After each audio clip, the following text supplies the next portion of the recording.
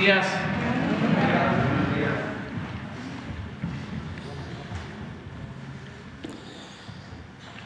Vamos a informar el día de hoy, como todos los martes, sobre la situación de salud. Ese es el tema principal. Y eh, vamos eh, desplazando en la información la situación de la pandemia porque afortunadamente las cosas eh, han mejorado mucho y eh, se va a seguir informando, pero cada 15 días. Además, el doctor Hugo López Gatel nos fue a representar a la Organización Mundial de la Salud, que ha hecho un buen papel y eh, cuando regrese ya nos informa sobre la pandemia. Ahora lo central, como hemos eh, acordado, es eh, toda la instrumentación del plan de salud, de fortalecimiento de los servicios de salud pública, de cómo estamos trabajando juntos para garantizar que estén en, buen estado los centros de salud, las unidades médicas rurales, los hospitales, que no falten los médicos, los especialistas, las medicinas, que se vaya regularizando la situación de los trabajadores de la salud, en fin, ese es el plan que ya está en marcha. Comenzamos en Nayarit, vamos bien, y sobre eso va a informar Joé eh, Robledo, que es el encargado de coordinar este plan de bienestar para la salud. Antes eh, vamos a dar respuesta a una inquietud que se presentó eh, en esta conferencia sobre eh, tratamientos utilizados que pueden poner en riesgo la vida de las personas, no controlados, no este, vigilados, no aplicados adecuadamente. Entonces, eh, sobre eso va a hablar tanto el doctor Jorge Alcocer como eh, Alejandro Schwartz, que eh, tienen toda la información al respecto. Si les parece, comenzamos con el doctor Alcocer, luego Alejandro y luego soy.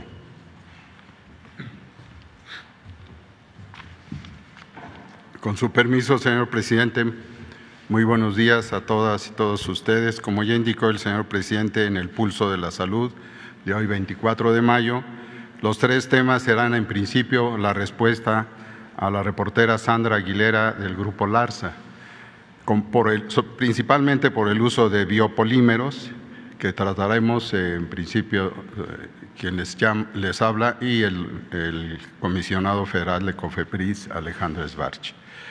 Como también ya mencionó el maestro Zoe Robledo, eh, nos presentará en forma muy, muy eh, importante y precisa la plataforma sectorial de médicos especialistas y dará a conocer el tablero de las necesidades de médicos especialistas en el país, este encargo del señor presidente. Se abre así la Jornada Nacional de Reclutamiento de Médicos Especialistas y la publicación de la convocatoria. Además, como cada semana, eh, ya se mencionó, nos informará de los resultados del levantamiento en San Luis Potosí y los avances en Tlaxcala, en Colima y Sonora. ¿Me puede pasar la primera, por favor? En nuestro país, como ustedes saben, hay gran demanda sobre servicios estéticos, en particular sobre la aplicación corporal de biopolímeros, mejor conocidos como modelantes, para modificar el volumen del cuerpo en esos casos. Sin embargo, estas sustancias pueden provocar daño grave, incluyendo la muerte desde el momento de su aplicación o a lo largo de muchos años después, que obligan en muchos casos inclusive a retirarlos o intentarlos retirar. Es un problema de salud pública en muchos lugares del mundo y en México también lo es. En la siguiente imagen les muestro que estos biopolímeros como tales son de orígenes vegetal, animal y en particular los sintéticos para producir moléculas y estas moléculas se utilizan ciertamente en medicina debido a sus propiedades mecánicas, degradables en, parte, en algunos de ellos y de ser compatibles con los tejidos humanos. Ejemplos de gran apoyo de su utilidad médica, de una indicación precisa por especialistas, es el sustitutivo de, con que se forman las prótesis articulares, implantes, suministro de fármacos inclusive e ingeniería de tejidos. Y en, este, y en esta tabla pueden ustedes ver, la siguiente, ¿sí? Eh, la gama de estos productos, aunque destaco el uso de la silicona líquida, polímero sintético que se usa en forma indiscriminada por, con fines estéticos.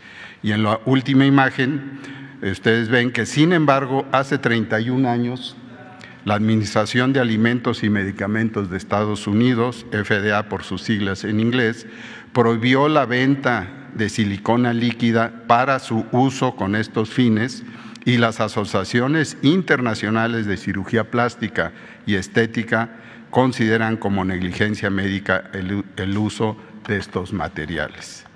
Además, ustedes pueden ver que hay otros materiales usados desde hace muchos años, yo recuerdo más de 40 años, para los mismos fines, incluyendo el guayacol y una gama importante de aceites de diferente origen y resalto, por ejemplo, hasta los de automóvil. Además, eh, finalmente ustedes pueden ver los lugares donde se están aplicando frecuentemente son que son las estéticas, las salas de cosmética, mediante personal médico no capacitado ni autorizado. Al respecto, continúa el doctor Esbach, con permiso.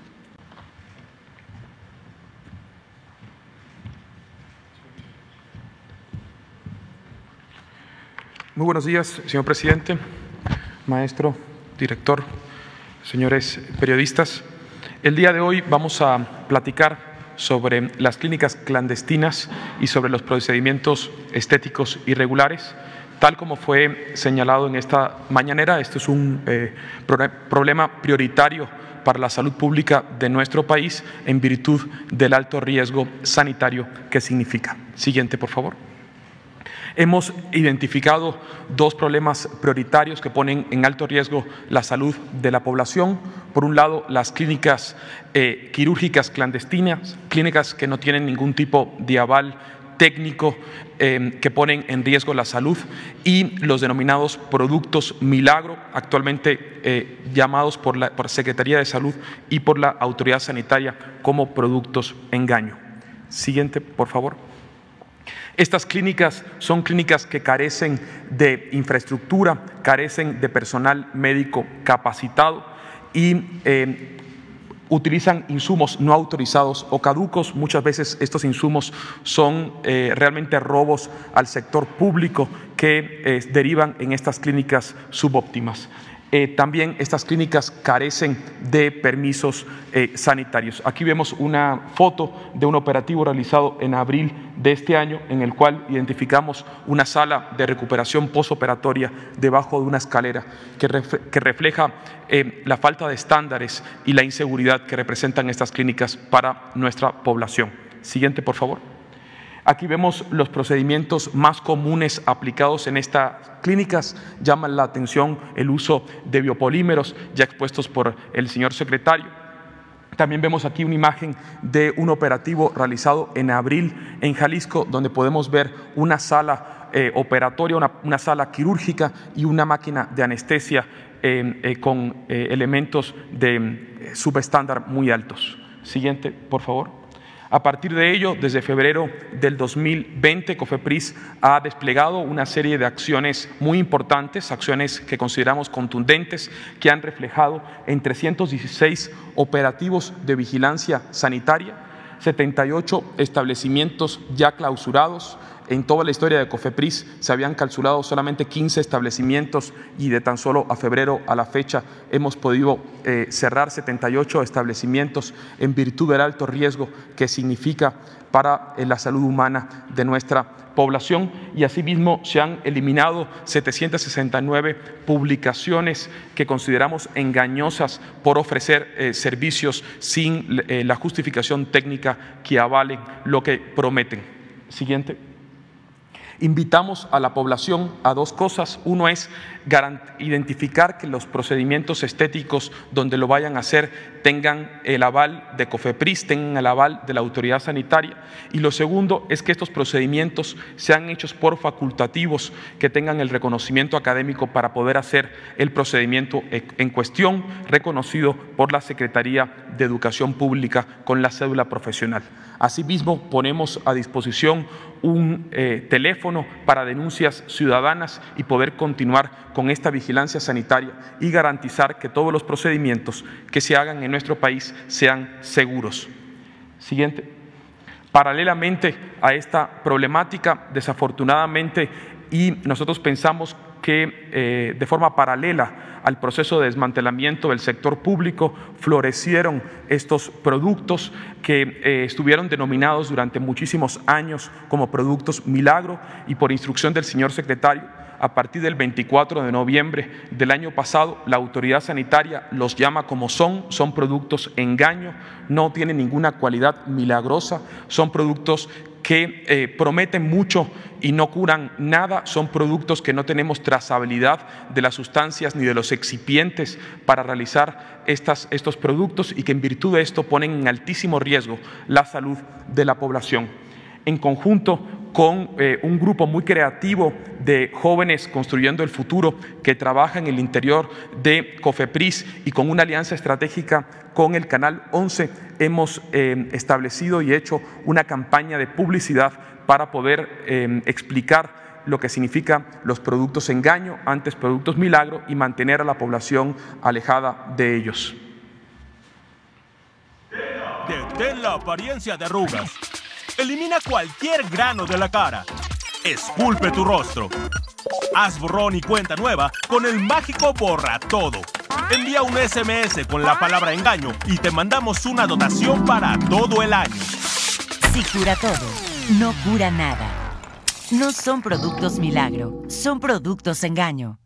No pongas en riesgo tu salud. Llama a la línea 01800 Engaño, donde hacemos milagros. Escuchamos tus peticiones y mejoramos nuestra fórmula. ¿Quieres ayuda en el control de peso? Lo agregamos. ¿Reducir cintura? ¡Claro! Y ahora también regula el apetito. Dinos qué necesitas y lo agregamos a sus propiedades. Si cura todo, no cura nada. No son productos milagro, son productos engaño. Con esta campaña, eh, la COFEPRIS y la Secretaría de Salud lo que queremos enfatizar es que la salud no es una mercancía, es un derecho de todas y todos los mexicanos. Por favor, hay que cuidarla, mantengámonos alejados de estos productos engaño, de estas eh, clínicas clandestinas y de estos mercaderes de la muerte. Muchas gracias.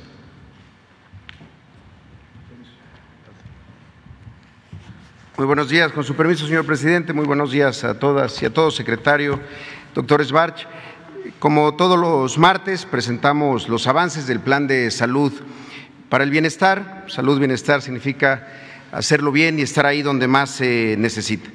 Hace una semana en este mismo espacio el presidente López Obrador anunció que el día de hoy se daría a conocer el número de vacantes de médicos especialistas que hay en todas las instituciones del sector salud Y a la par de dar a conocer esto, pues también el lanzamiento de una convocatoria abierta para la contratación inmediata con sueldos atractivos para los médicos especialistas que decidan prestar sus servicios, su conocimiento, ahí en donde más son necesarios, en zonas remotas, en zonas de alta marginación y pobreza de nuestro país, pero también en ciudades donde hay plazas, turnos que han sido históricamente de difícil cobertura. Por eso nos da gusto informarle al pueblo de México, señor presidente, que el día de hoy a las 12 del día se va a publicar esta convocatoria para la Jornada Nacional de Reclutamiento y Contratación de Médicos Especialistas. Esto es un esfuerzo de todas las instituciones del país para cubrir sus vacantes. Lo mismo del IMSS que del IMSS Bienestar, el ISTE, Pemex, los institutos nacionales de salud y también los gobiernos de los estados que agregaron sus vacantes a través de de, del INSABI. Eh, la página www.médicosespecialistas.gov.mx eh, este, está publicada la, convocatoria que va dirigida a médicas y médicos especialistas eh, y esto siempre apegado a los principios de legalidad, de transparencia, de eficiencia, objetividad, calidad, imparcialidad y también de equidad de género. Si podemos pasar la, la siguiente.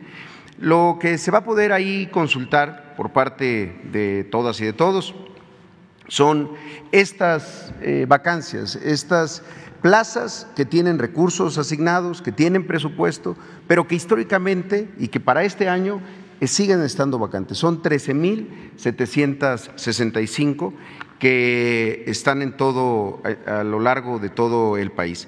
5.252 de estas eh, vacantes corresponden a sistemas de salud estatales de los 15 estados justamente en donde el plan de transformación, el plan de salud bienestar se está llevando a cabo este año. Solamente quiero darles un par de, datos de estas eh, vacantes.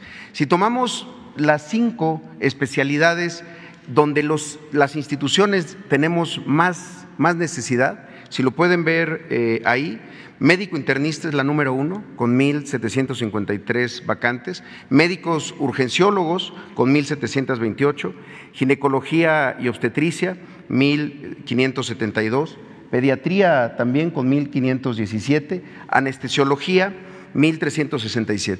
Justamente coinciden Muchas de estas especialidades, sobre todo urgencias, los internistas o los anestesiólogos, de las que se dejaron de formar históricamente en los últimos años. Se dejaron de formar muchos de estos especialistas que son los que más necesita el sistema de, de salud. Desde luego todas las especialidades son importantes, pero estas, urgencias, anestesia, son de las que se dejaron de hacer sedes, se dejaron de hacer, eh, de dar becas y que justamente, como se ha presentado aquí también, se ha ido recuperando esta capacidad de formar a, estos médicos de estas especialidades.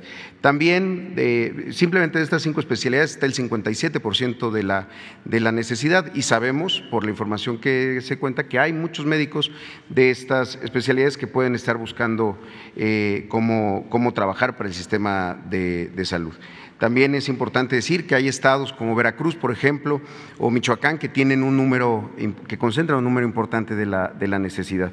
Y también comentarlo de, por instituciones, eh, INSABI, tiene 8.272 de estas vacantes, que son las que hacen falta en los estados nos informó Insabi que fueron 29 estados los que mandaron sus, eh, sus necesidades.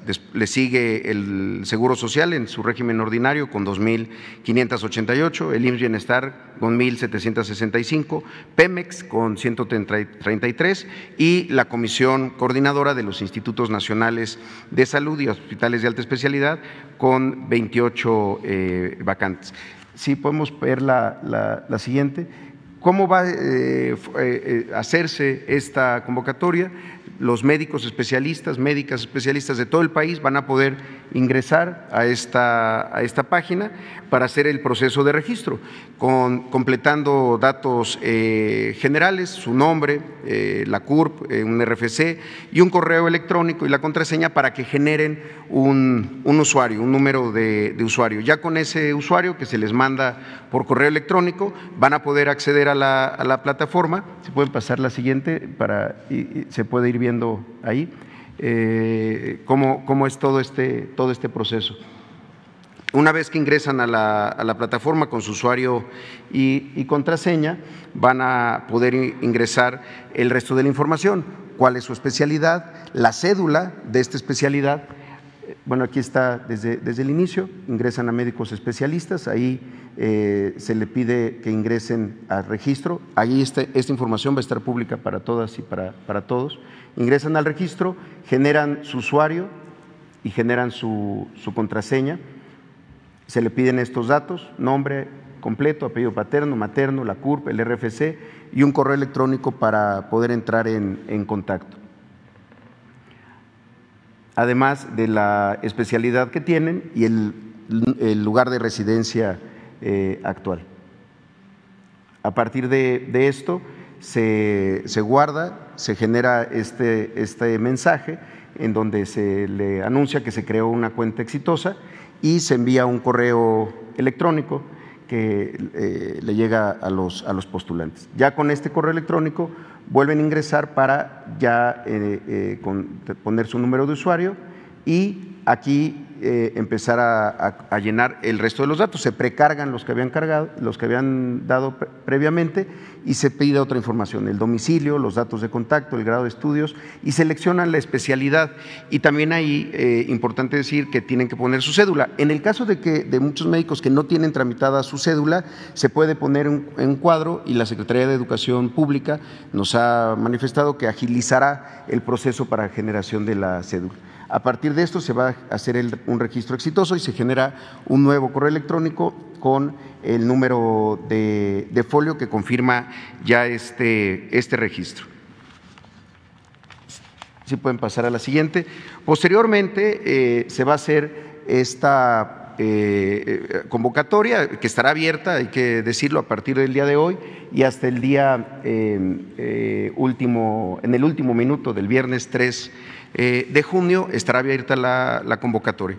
El día eh, martes 7 de junio, en este mismo lugar, vamos a presentar los resultados de esta eh, convocatoria y ese mismo día, el martes 7, se van a generar las invitaciones por correo electrónico para cada uno de estos médicos y médicas para que acudan a las 32 sedes que se van a instalar el 11 de junio, sedes de recepción de toda la documentación y no solo de recepción, ahí estaremos todas las instituciones que estamos eh, buscando a los médicos especialistas para que puedan iniciar ya sus procesos de contratación. Se van a presentar ahí todas las, eh, las opciones que pueden tener, por eso es que en, el segundo, en la segunda etapa el médico le estamos pidiendo que nos diga directamente a partir de su especialidad, cuál es la, unidad en donde quisiera laborar y tener tres opciones.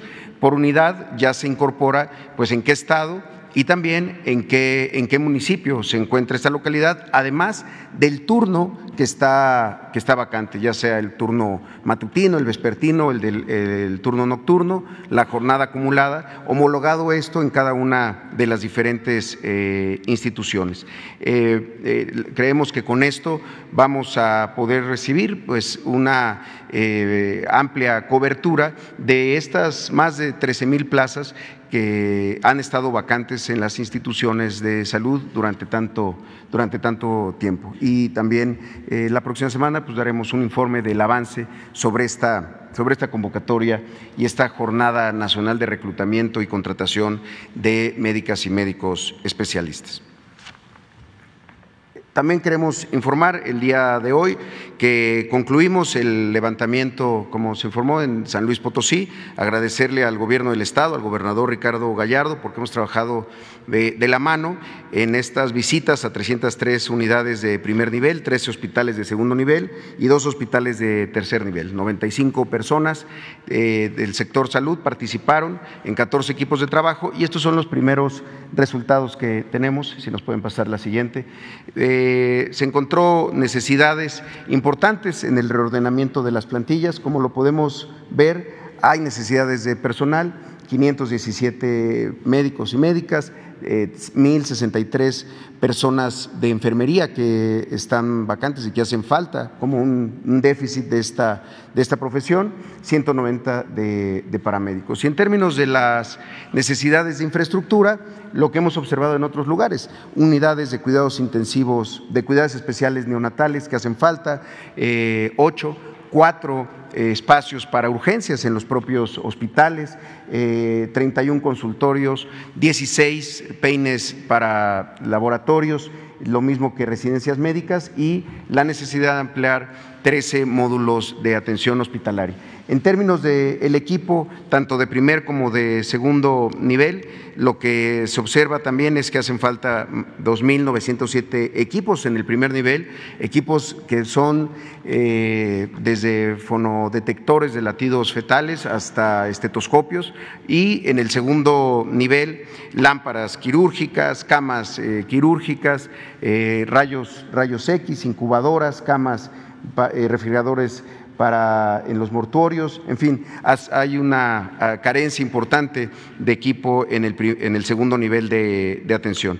Eh, y queremos eh, comentar, y que sea la voz de la doctora Tania Trejo, quien pueda comentar qué son estos levantamientos, como el que se llevó a cabo ahora recientemente en San Luis Potosí. Si nos pueden poner el.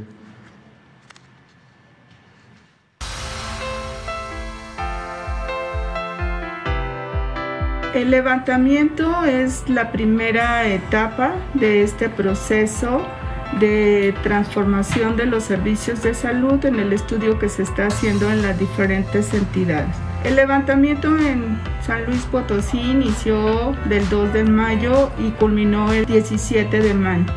Se visitaron 318 unidades médicas de la Secretaría de Salud correspondiente 303 a primer nivel de atención, 15 entre las 15 de segundo y tercer nivel de atención. Podemos decir que ya tenemos un panorama de cómo se encuentran las unidades en cuanto a su infraestructura, cuál es su plantilla de personal, es decir, cuáles son sus necesidades eh, aquellas plazas de especialistas y subespecialistas que están vacantes, los turnos que se van a tener que cubrir en relación a médicos y enfermeras, eh, el estado que guardan las estructuras de las unidades y por supuesto el estado y condiciones del equipamiento de todo lo que es este equipo que se relaciona con la seguridad del paciente. Después de la etapa de levantamiento viene la concentración de la información y el análisis de la misma para obtener ya los resultados finales y el estatus eh, de inversión que se requerirá para que estas unidades cumplan con el modelo de atención del programa IS Bienestar y ofrezcan una atención de calidad y de seguridad en el paciente. Como nos lo indicó el presidente, son levantamientos de campo, son diagnósticos que se hacen eh, en el lugar eh, y no desde el escritorio. Eh, continuamos con los reportes, en este caso de los avances que hay en el estado de Tlaxcala, sobre todo en la regularización del personal. Aquí tenemos una meta de regularizar a 1.359 trabajadores que han tenido contratos eventuales, en algunos casos hasta por 12, 11 años, y pasamos de 638 a 947 por lo que el avance es del 70%. Se trata de 269 médicos, 580 enfermeras y 98 paramédicos. Si podemos pasar a la siguiente, También en el caso de Tlaxcala se ha estado trabajando ahora en las unidades de segundo nivel. Informábamos la semana pasada sobre los avances, las asambleas informativas en el primer nivel, pero ahora es un trabajo más específico y técnico, cerca de 50 asambleas informativas con cuerpos de gobierno para identificar y corroborar lo que en el levantamiento se, identificó como necesidades de equipo, infraestructura y recursos humanos. También se han capacitado en los 10 hospital, en 10 hospitales sobre el modelo de atención. Eh, también se ha hecho una revisión en 70% de las unidades de los consumos promedios mensuales de medicamentos para poder así calcular el abasto a partir de las recetas surtidas que se eh, emiten todos los días y que se completan satisfactoria o insatisfactoria mente también se tiene ya un inventario del almacén de la Secretaría de Salud y esta semana iniciamos con la instalación del sistema de administración de insumos para mejorar el control de entradas y salidas de medicamentos y de material de curación. También en los hospitales de Zacatelco, de Contla y de Calpulalpan y también en el de Sánchez Piedra se está fortaleciendo el diálogo con la base trabajadora sobre eh, las eh, características del modelo de atención y lo mismo en los hospitales de Guamantla, el Carmen y Donde se inició la organización ya de los servicios, especialmente en la consulta externa. Eh, la siguiente, también tenemos un informe sobre esta jornada quirúrgica oftalmológica que se llevó a cabo en, en Nayarit. Eh, en nuestro país alrededor de 3 millones de personas padecen padecen de cataratas y se estima que cada año se suman 140 mil, por eso estas jornadas eh, nos ayudan mucho a batir esos rezagos de personas que ya han sido identificadas y que estaban en espera de una cirugía. Esta se llevó a cabo en el Hospital de San Cayetano y ocurrió del, Dios, del 18 al 23 de mayo con 14 médicos especialistas provenientes de diferentes unidades, tanto de Morelia, de la Ciudad de México, de Guadalajara, de Torreón, de Bahía de Banderas, ahí mismo en Nayarit y de Veracruz. Si podemos pasar un video muy rápido sobre cómo fue esta jornada.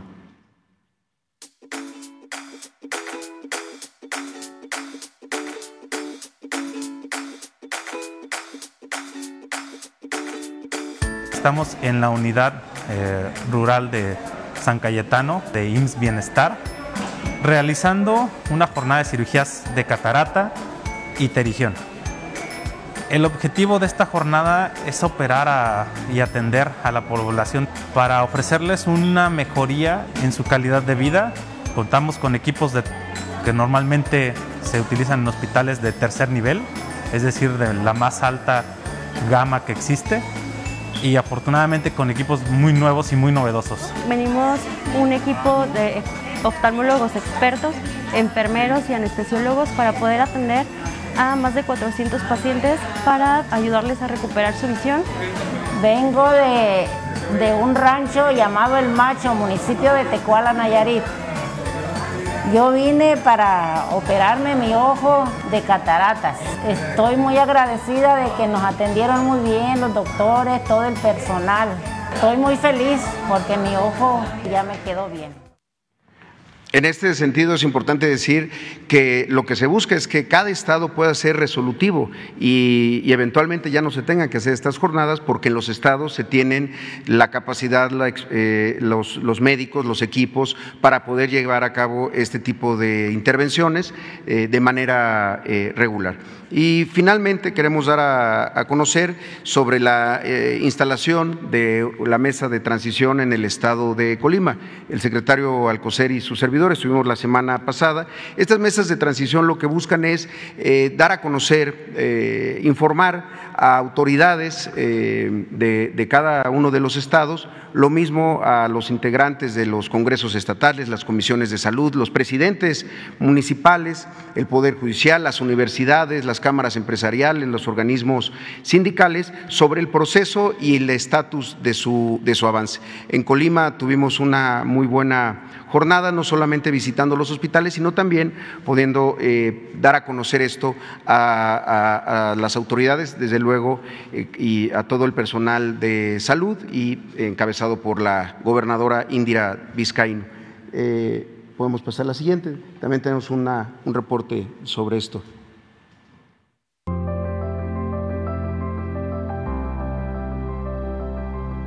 Eh, para mí la transferencia de los servicios de salud eh, significa una oportunidad valiosa para que todas y todos los colimenses tengan los mejores servicios de salud en el Estado. Para mí la transición hacia los servicios de IMSS Bienestar significa un mensaje esperanzador para las y los colimenses con esta firma que se dio en este día porque con esto consideramos que las y los colimenses podrán tener finalmente los servicios de salud que se merecen. Para nosotros es un gran respaldo el saber que vamos a contar o que estamos contando con el apoyo del gobierno federal y con el gobierno del estado en cuanto al tema de salud. Eh, emociona mucho el hecho de saber que lo que hemos sufrido durante tantos años, alguien haya puesto ya eh, atención en esa área de oportunidad y que la intención sea precisa y únicamente mejorar esas, esas áreas de oportunidad que por años se han olvidado. En unos años espero que los servicios de salud puedan abarcar a toda la población, que ya no recibamos más quejas, que esto no lo volvamos a repetir en la historia. Tengan confianza, es un programa que a nivel nacional ya se ha implementado en otros estados, que hoy estamos aquí eh, de vanguardia firmando esta transición y que confío en que la transición será para bien. Esta oportunidad que estamos teniendo en el Estado nos va a ayudar a dar mejores servicios, a que tengamos mejores instalaciones, que los pacientes al acudir a, recibir alguna atención tengan todo lo necesario para que, puedan llevar a cabo sus, tratamientos de cualquier patología por la que acudan a nuestra red de servicios. Tengan la confianza de que el gobierno federal, a través de sus representantes en el sector salud, están buscando las mejores alternativas para que todos tengamos ese beneficio y ese derecho a la salud que por artículo y por ley nos corresponde a todos los mexicanos.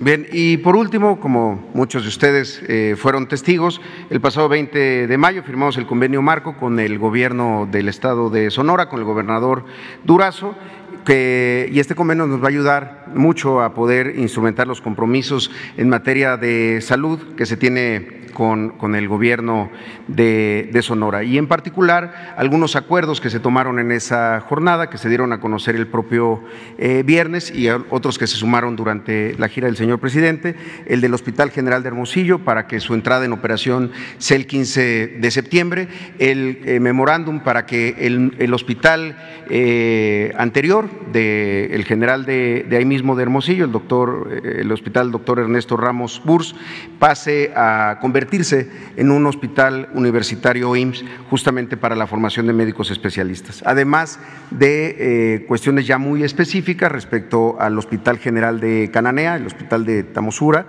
eh, además de las 10 unidades médicas que hay en esa zona de servicios y también sobre los avances del plan de justicia Yaqui, eh, sobre todo respecto a la construcción del hospital en Bicam Switch, además de las diferentes unidades de primer nivel en, Loma de Bacum, en Loma de Guamúchil, en Torim, en Potam, en Uribis, en Uribis eh, que, tienen que estar listas para este, para este año. Fueron acuerdos eh, internos, tanto con INSABI, con el gobierno del Estado y desde luego con el Seguro Social para poder esto hacerlo realidad. También en el Plan de Justicia para el Pueblo Guarijío del sureste de Sonora estamos con el compromiso de volver para eh, plantear cómo mejorar ahí los servicios de salud. Y eh, para concluir, insistirle, invitar a todo el pueblo de, Nayarit y próximamente Tlaxcala a usar este teléfono, el 895-32-213, el teléfono del pulso de la salud, para que nos hagan llegar diferentes eh, situaciones que puedan tener respecto a abasto de medicamentos, a atenciones médicas que se puedan haber visto postergadas, a cuestiones incluso de trato, porque estamos generando folios para su solución de de, manera eh, oportuna e inmediata. Será todo por nuestra parte, señor presidente. muchas gracias. Más quedó Hans Salazar y este y luego empezamos. Ustedes tres, para dos, tres, cuatro. cinco. Te esperas por Buenos días, presidente. Buenos días, Hans Salazar de Noticiero en Redes. A propósito del tema de la salud, eh, del pulso de la salud del día de hoy, yo quiero preguntar eh, respecto a los temas de la salud mental. Es uno de los temas eh, que se ha ido agravando a nivel mundial, incluso con el tema de la propia pandemia. Eh, hay problemas de ello también en este sentido en varios de los servicios que se brindan por parte del gobierno. Digo, sabemos que es una transición. Ahora mismo se han planteado varios temas al respecto de esta transición, pero eh, quisiera yo particularizar, especificar esto porque eh, llamar la atención, pues para saber cuáles son las estrategias al respecto y si en estas plazas también se están considerando también estos servicios para reforzar. El tema de la salud mental es tan grave que también va en aumento eh, los suicidios, la falta de atención, la falta de medicamento, por ejemplo, en, la atención psiquiátrica es prácticamente de discapacidad o de vida o muerte. Por ejemplo, eh, aquí mismo en la Ciudad de México, en el IMSS, hay reclamos de que eh, no se encuentra risperidona, sertralina, clozapina, carbonato de litio, la, motrigina, mirtazapina, eh, ketiapina, clonazepam, eh, benlafaxina, decanoato de alope, aloperidol. Entonces, es una serie de problemas al respecto, porque si un paciente, aunque sea atendido eh, eh, por parte de su especialista y dar seguimiento, si no hay estos medicamentos, definitivamente se está eh, teniendo la mitad de atención y la mitad con este problema tan grave. Eh, de hecho, yo soy uno de los, eh, yo me atiendo y yo comprendo perfectamente este problema, por eso también lo retomo, porque no solamente ha crecido eso, hay un porcentaje, y yo quisiera también preguntar al respecto, de cuál es el, eh, la cantidad, por ejemplo, de presupuesto destinado particularmente a la salud mental en general de los servicios de salud. Esto es lo, lo que yo quisiera preguntar, presidente, a propósito y aprovechando esto, para ver también la posibilidad de que se esté reforzando esta atención.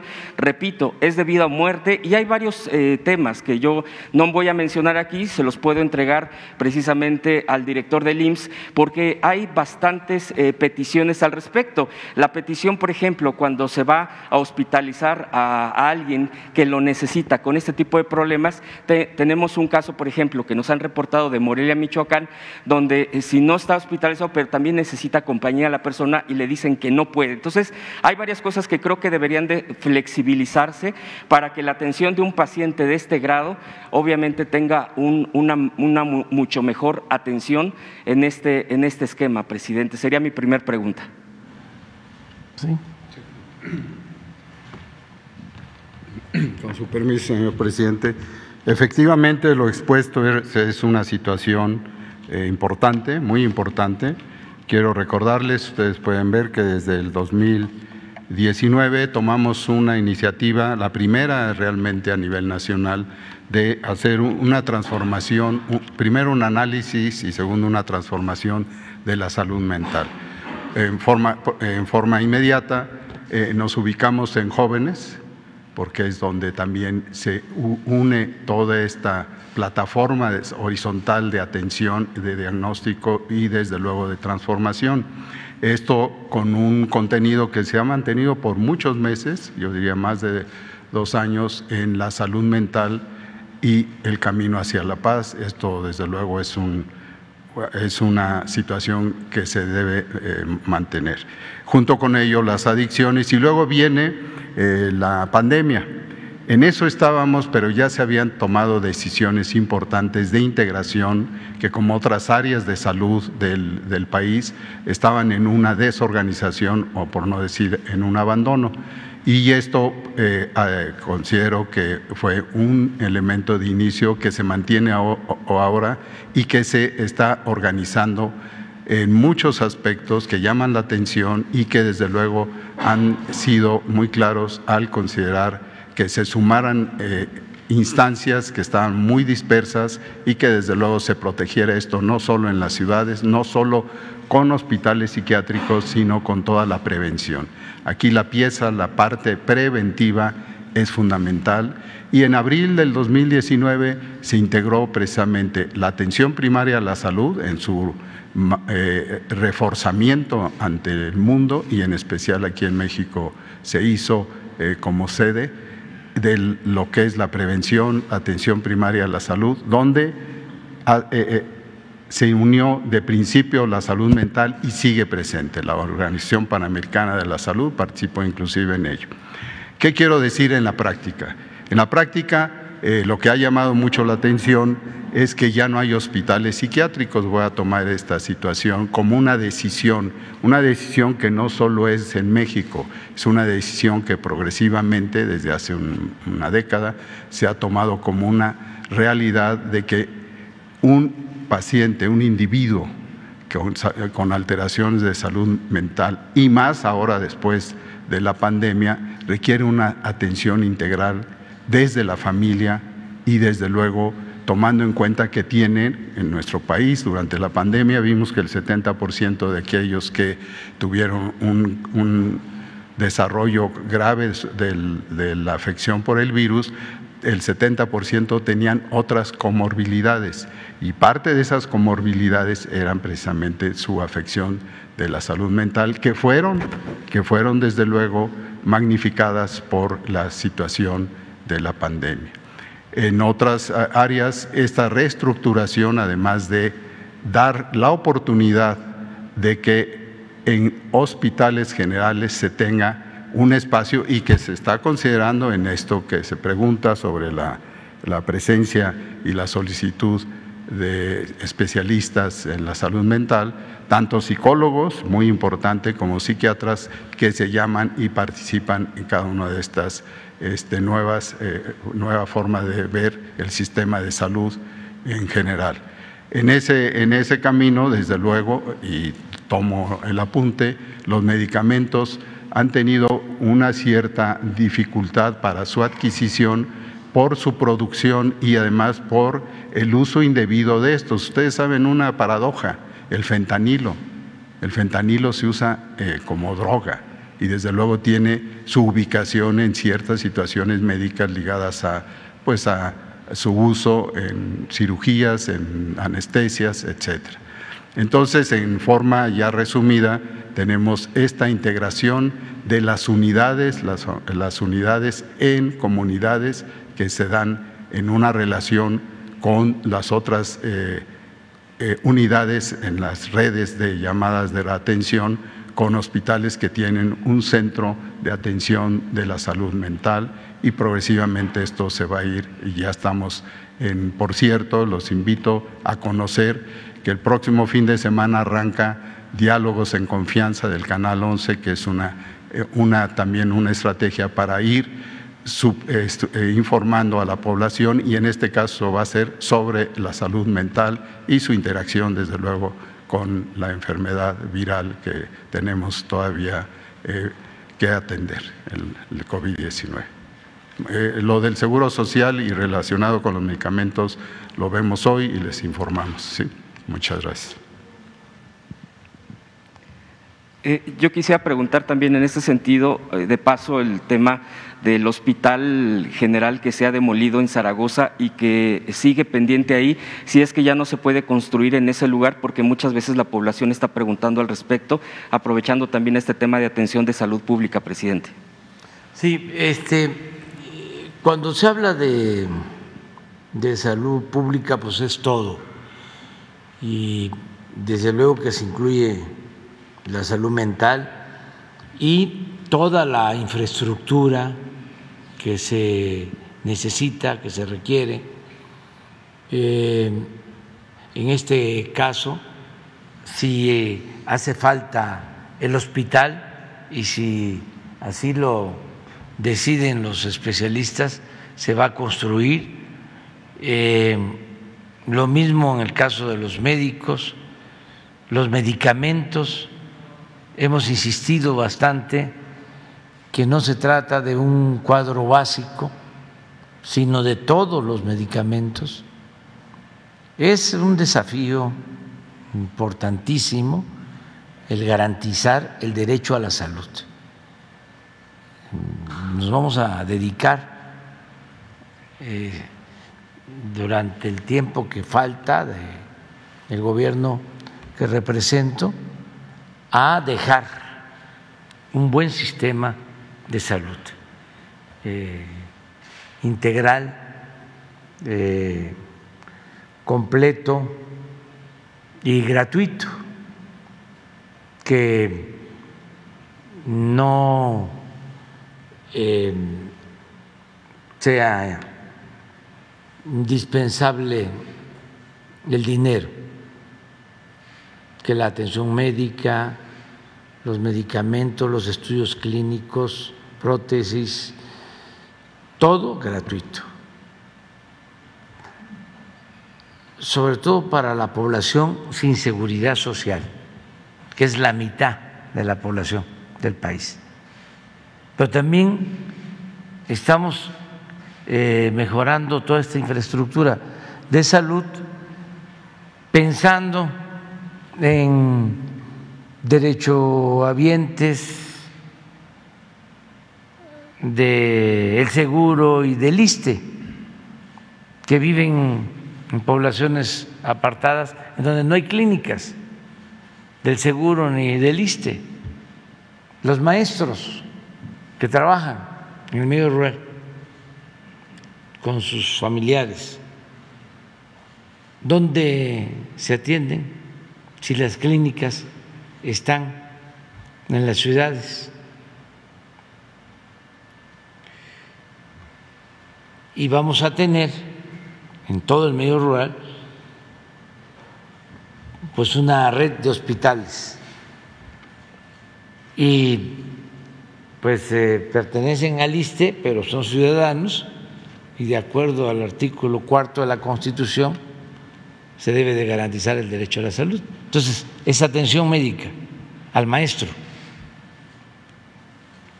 es la base de la atención a todos los eh, habitantes del país. En eso estamos, estamos trabajando eh, todos los días y nos reunimos dos veces a la semana,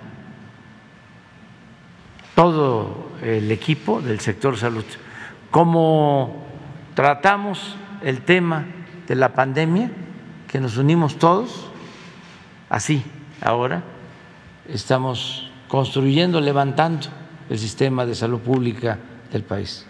Presidente, respecto a lo del hospital, ¿qué dice usted que tendría que ser evaluado por los especialistas para ver si es factible o no su construcción? ¿Cuándo pudiera ser aproximadamente un límite de tiempo, ya que usted mismo ha dicho que las, las obras de este sexenio se acaban en este sexenio? Entonces, por la misma, la consiguiente, hay mucho interés en esta zona de oriente, que es Iztapalapa, que es la parte de junto a Nezahualcóyotl, es una zona bastante, es una zona de mucha densidad.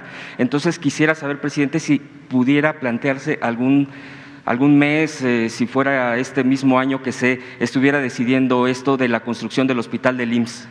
Sí, es un plan, eh, se están haciendo los levantamientos, como aquí se explicó, y eh, en las visitas que se hacen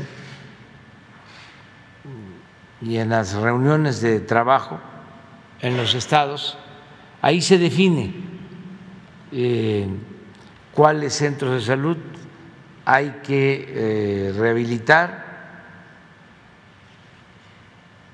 terminar de construirlos, porque dejaron muchos inconclusos, lo mismo en el caso de hospitales, eh, y en el caso de la Ciudad de México, una vez que se tenga ya el levantamiento, ya se va a decidir sobre este hospital al que tú mencionas. Se está buscando pues que sea un proceso ordenado y espero que nos alcance el tiempo. Tenemos hasta diciembre del año próximo para montar la infraestructura. Claro, lo que queremos es que eh, en el primer trimestre del año próximo ya tengamos 15 eh, estados funcionando mm, al 100 y en esos estados eh, está incluido la Ciudad de México y seguramente si hace falta este eh, va a estar en construcción el hospital para este, concluirlo, para terminarlo. Estamos en eso. Ayer, en la noche, en la tarde que tuvimos la reunión con la jefa de gobierno de la Ciudad de México, nos habló de una clínica de Coajimalpa, si se acuerdan esa clínica que este, se destruyó con una explosión. Pues un hospital con una explosión, pues ya está mm, prácticamente terminado y ya este, pasa al sistema de IMSS Bienestar para su equipamiento y ya para que empiece a operar. Pero estamos sobre eso. Presidente, muchas gracias. Eh, el siguiente punto que quiero preguntarle es eh, a propósito del tema de la salud, pero también lo voy a, a ligar porque así está tal cual el problema de la privatización el servicio del agua. En Aguascalientes particularmente hay bastantes problemas respecto a enfermedades por agua sucia. Ahí se decidió en Aguascalientes con el gobierno, los gobiernos locales, privatizar. Tiene aproximadamente 20 años esta privatización del agua. Veolia es la empresa, es una empresa de origen francés y ha causado bastantes problemas de salud en la gente por la ingesta de este tipo de agua sucia allá en Aguascalientes. Entonces, el servicio ha sido malo, hay una queja impresionante, pero el problema, y por eso lo estoy ligando con el tema de la salud, es que ha causado este tipo de estragos de enfermedades en la población. En Querétaro, ya particularmente también acaban de eh, aprobar eh, la privatización también de los servicios de salud. Eufemísticamente lo quieren tomar de otra manera, como aquí usted bien lo pone como ejemplo cuando se privatizan los servicios, y preguntarle también si esto de privatizar el agua, el servicio del agua, el suministro, drenaje, todo esto no choca con todo, porque es privatizar localmente, con lo que tiene que hacer con agua, porque si esto eh, va encaminado a como está en Aguascalientes el problema, pues se va a generar ahora en Querétaro. Con agua, ¿en qué punto queda respecto a este sistema, a este esquema? Y por último, presidente, vienen las elecciones 5 de junio. Eh, el problema se ha ido agravando en algunos estados en particular en el tema de la seguridad pública, que es lo que yo le quiero preguntar.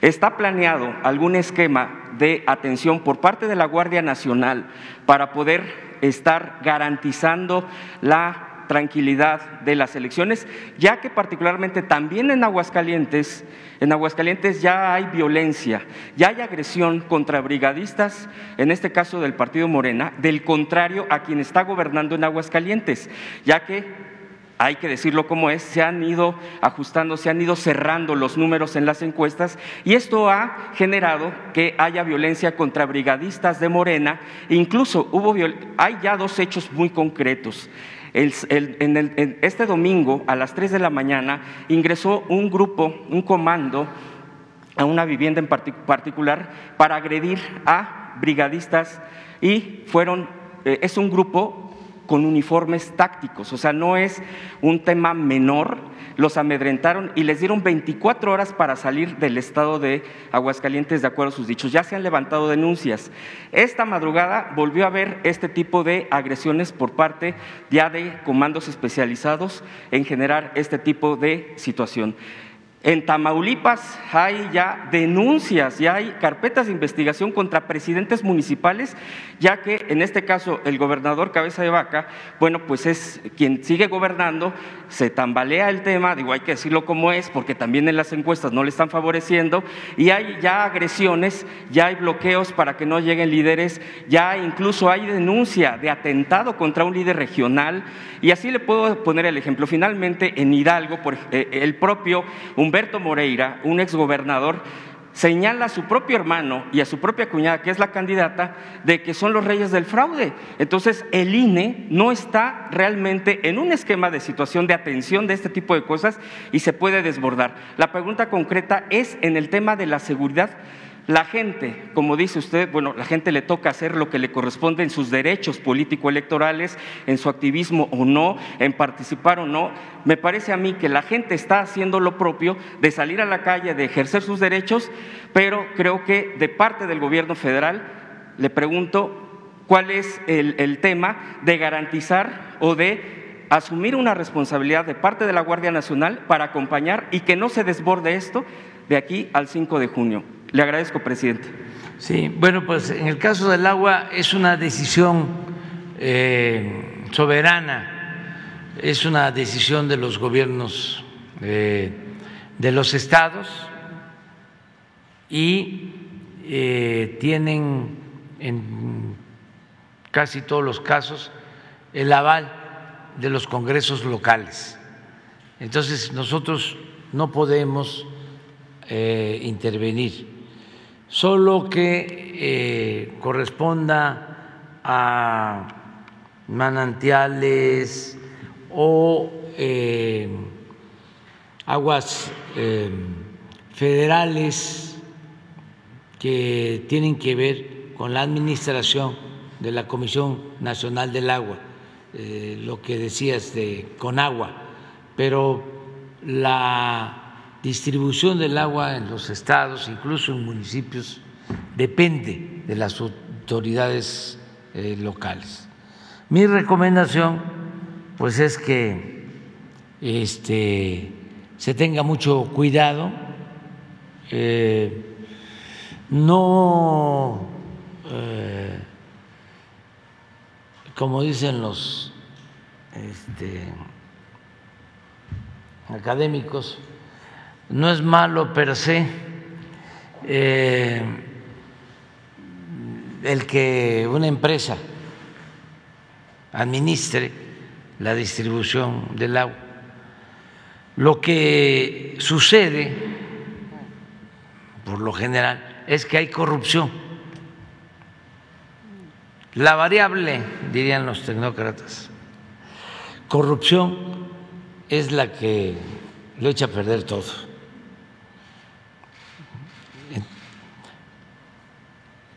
Si este, hay corrupción, funciona mal el servicio público, eh, estando privatizado o en manos de eh, las dependencias gubernamentales. Lo que hay que evitar es la corrupción. Hay eh, muchas denuncias en el país por la privatización del agua, por los cobros indebidos, por la mala calidad del agua, porque fueron concesiones que se hicieron eh, para eh, hacer eh, chanchullo, para este, obtener beneficios, para cobrar sobornos, moches. Entonces sí hay en distintas partes. Yo voy al país y hay denuncias de ciudadanos en este sentido. Pero depende también de las autoridades y de los acuerdos que se tomen. Eh, Tú, por ejemplo, me planteaste, no es un reproche, ¿eh? pero para que analicemos las cosas con objetividad y que eh, podamos siempre ir al fondo. Yo considero que el principal problema de México es la corrupción. Antes no se hablaba de eso. Me siento de los precursores en poner este tema en la mesa del debate, porque ni en los discursos se hablaba de corrupción. Si ustedes hacen un análisis de los discursos de 50 años a la fecha, no van a encontrar la palabra corrupción, como si no existiera. Y en los medios de información lo mismo. En el Congreso, en las intervenciones de diputados, de senadores, no se hablaba de corrupción. Y era el principal problema de México. Nada ha dañado más a México que la deshonestidad de los gobernantes. Eso es lo que ha dado al traste con todo. Bueno, eh, dicho esto, cuando se habla del modelo neoliberal, yo he llegado a sostener que si el modelo neoliberal se aplicara sin corrupción, no sería del todo malo. Es que se puede tratar del modelo económico más perfecto pero con el agravante de la corrupción no sirve nada.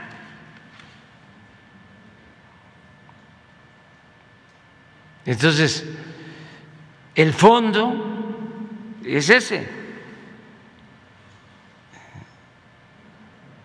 el que impera la corrupción tú defendiendo a los trabajadores de Capufe, me planteaste, ya me hiciste dudar si fuiste tú. Yo creo que sí. Sí. Entonces, eh, quien está en Capufe eh, es una mujer honesta, Elsa Beites, y le pedí un informe, porque eh, se estaban haciendo recontrataciones y se quejaban algunos de que no estaban eh, siendo eh, recontratados o se les estaba despidiendo y nosotros tenemos el compromiso de no despedir a los trabajadores. Entonces le pedí un informe. Coincidió, por eso ando recorriendo el país siempre, que estuve en Veracruz y este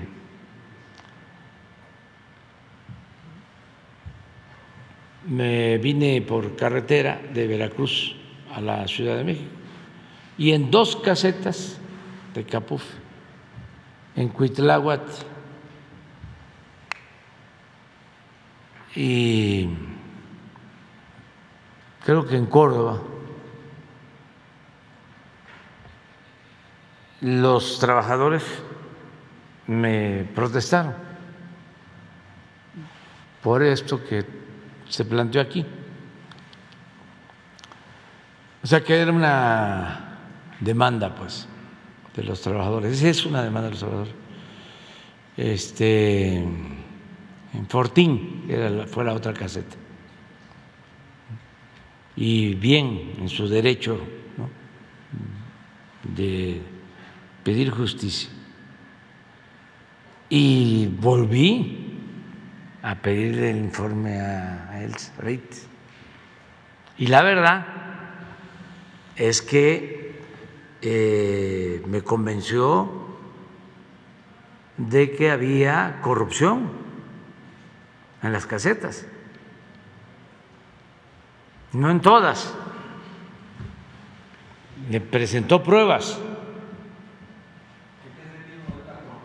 de que cobraban y no este, ingresaba el dinero.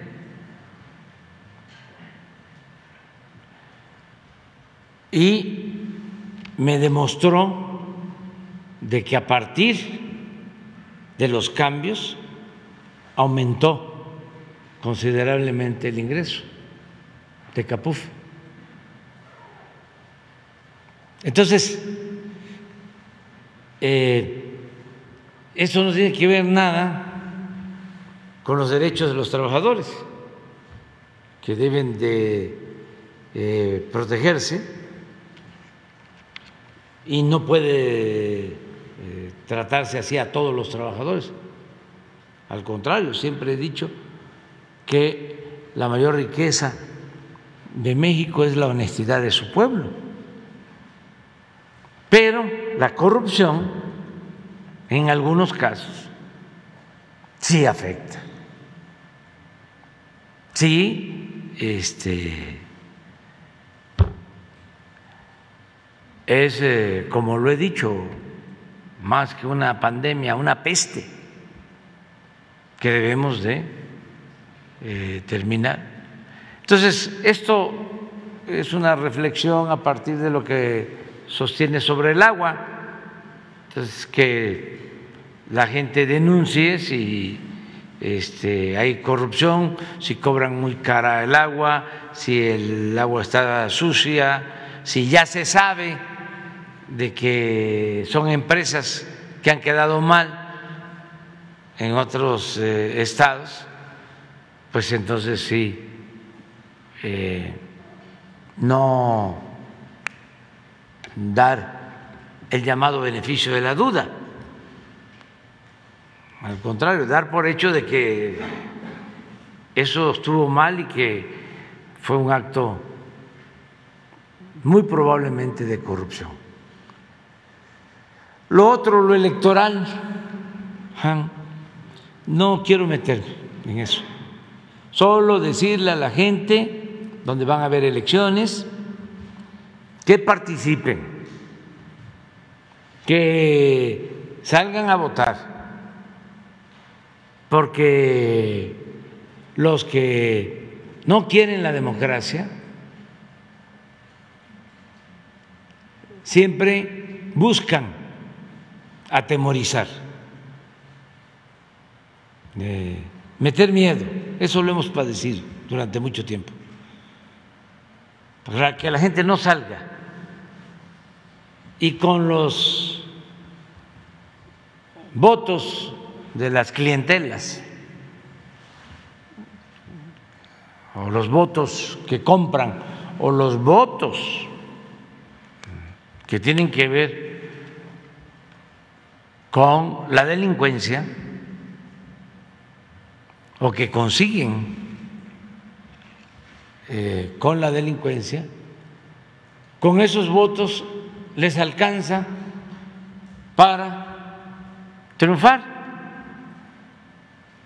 No es lo mismo que vote el 40% de los ciudadanos a que vote el 70%. Cuando pasa del 50%, ya es muy difícil el fraude. Y entre más participación, menos fraude. Porque pueden controlar a ciertos sectores. Y cada vez es más difícil, porque la gente ya está muy consciente. Ya no es el tiempo del reparto de las despensas, del frijol con gorgojo, o de la amenaza, o te voy a apuntar en la lista porque te va a tocar tu vivienda o te va a llegar tu material de construcción. O eh, vamos a hacer un carrusel. Y te doy tu boleta.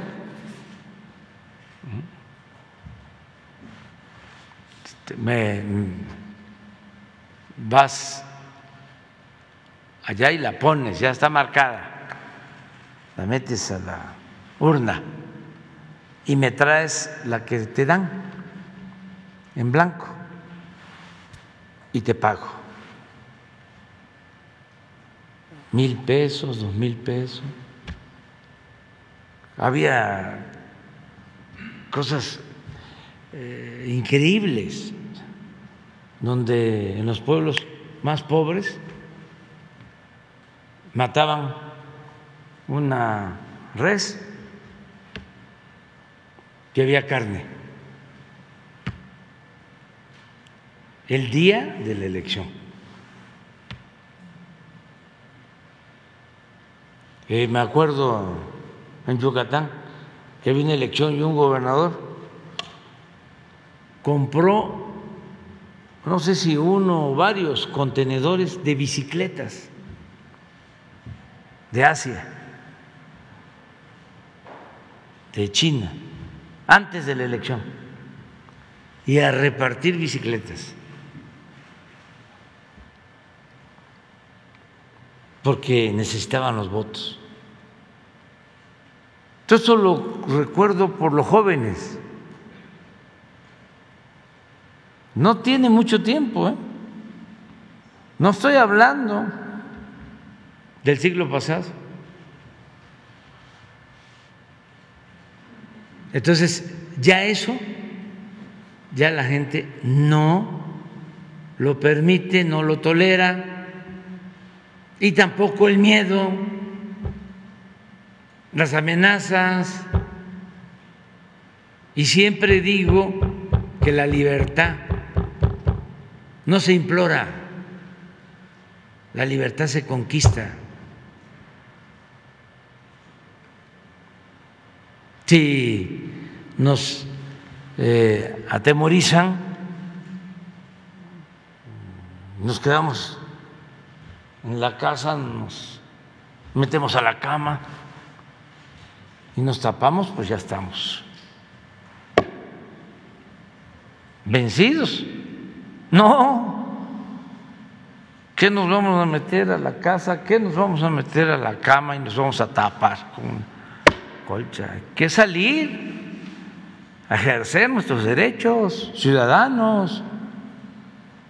Ya la autoridad tiene que garantizar que haya paz, que haya tranquilidad, que nadie sea agredido.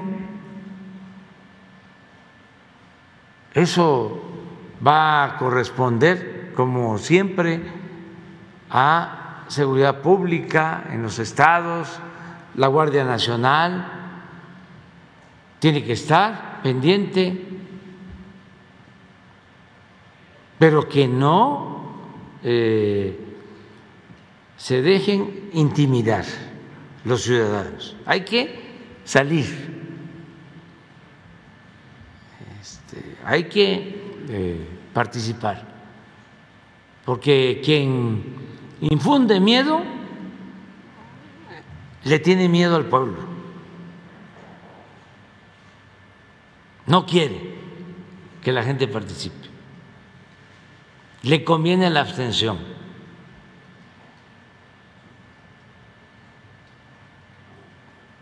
No sé si este, deba decir esto y no me vayan a multar los del INE, pero pues no estoy pidiendo el voto a favor de nadie, sino nada más que participemos, porque es muy importante la democracia. Hablaba yo de la importancia de acabar con la corrupción, pues es lo mismo. entre más democracia se tiene, menos corrupción. Porque cuando hay democracia hay competencia. Nadie en ningún nivel de la escala se siente absoluto, todopoderoso,